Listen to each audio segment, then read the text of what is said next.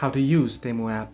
Hello everybody, welcome back to the channel. Today I'll guide you on how you can use Temu app. Now you can download the app easily from your Play Store if you are on Android device and from your App Store if you are on iOS device. You can simply head into Play Store or App Store and search in for Temu and you can download it from there.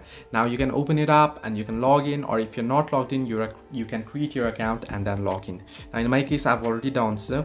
Now here once you open up the app, you'll get an interface like this. Now you can scroll through all sorts of recommendations shown to you or you can simply head into the categories option. Now you can see the home page here. You can head into all option if you want to search in for all. If you want to search in for particular woman items you can search in for women or men or kids jewelry.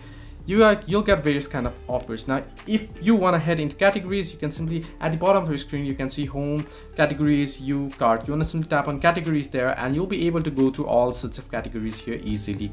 Now if you want to head into your account settings and account details you want to tap on new option and there you'll be able to enter in your account details and edit and view your account details as well. And you can see the cart option now. Any items that you add to your cart you can simply add into your cart by opening up the app.